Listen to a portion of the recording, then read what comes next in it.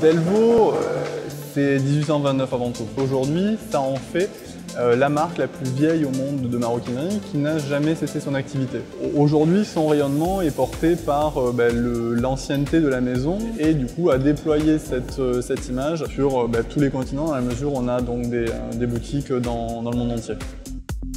Quand je suis arrivé il y a deux ans et demi, l'accès à l'information, euh, la notion de simultanéité, de synchronisation, d'uniformisation, d'unification de l'information était euh, très très compliqué. Avoir une base de données euh, synchronisée, accessible par tous simultanément, c'était un, un, des facteurs clés en fait, de réussite, de progression, de croissance dans la mesure où ne pas être en mesure de trouver une information peut générer tellement d'erreurs qu'au final on n'arrive pas à progresser si la base n'est pas saine.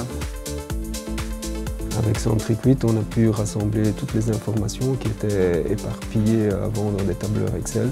Et entre tous les départements, euh, ça facilite vraiment le, travail, euh, l'énergie, l'efficacité.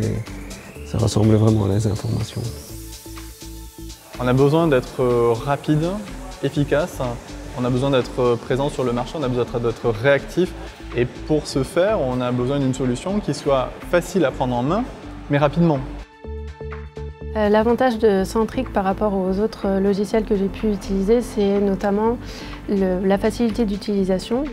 Je, pense que les grands points forts de la solution Centric, c'était déjà d'avoir une certaine portabilité de l'information avec différents supports euh, qui pouvaient être l'iPad, l'iPhone, euh, des supports euh, type ordinateur et une solution très visuelle.